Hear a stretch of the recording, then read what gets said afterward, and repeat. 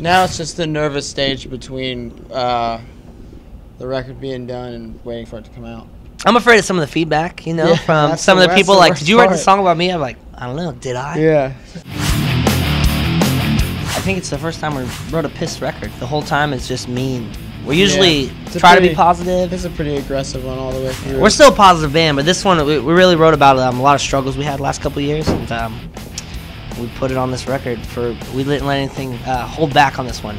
And I think going back with Joey Sturgis after so long, we had a lot of Joey time that we missed built up in us, and he had a lot of Miss May I stuff that he missed built up in him. So we gotta really let a lot of ideas out that been building up over the years, and um, it came out really, really strong. I think the um, it brought the band closer together because we all went through the same thing. This is the first time it wasn't really um, just me going through stuff or one person going through stuff. We all went through the same thing, so it brought us more like brothers, which is weird because we've been torn forever, and so it's weird that, that we can actually become even more closer than we have been, but we have. It's about awesome.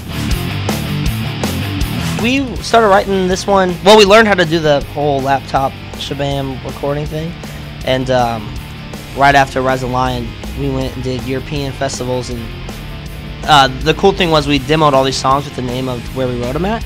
So there were songs that were called like Hellfest or Amsterdam or all this stuff. So like we we started demoing right after Rise of the Lion, which was nice because we never had that capability before. So I had I think we had 25 pieces of song like finished songs um, coming into the studio, which usually we come in with like three ideas. We're like, we don't got nothing. Let's figure this out. Yeah. So it was nice to actually have stuff. the recording part, it just kind of sprung up on us. It was like, okay, you have you have a month here, so this Yeah. is if you're gonna do it, it has to be right here. So we are like, okay, we'll be ready by then. Yeah, they're like, oh, you guys do a main stage warp tour, and you should have a new record by that. Well, okay, I guess all these songs we're writing, let's finish them up. the whole song is about just getting pushed to your edge because we've been nice guys for the longest time, and we get stepped on a lot. So like, this is it's just like getting pushed to your breaking point. And so we told the director that, and he sent back that treatment of this guy works at this coffin place and gets mad at his boss. But see, at the end, he wakes up, so it didn't really happen. I hate everything!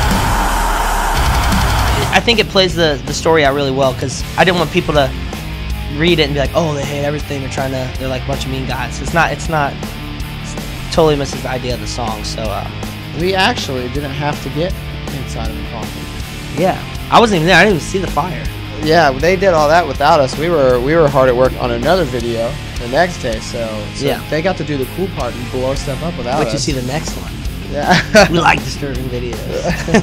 What's up? It's Levi and Ryan. from Miss May I and subscribe to Louder Noise, the loudest noise on earth.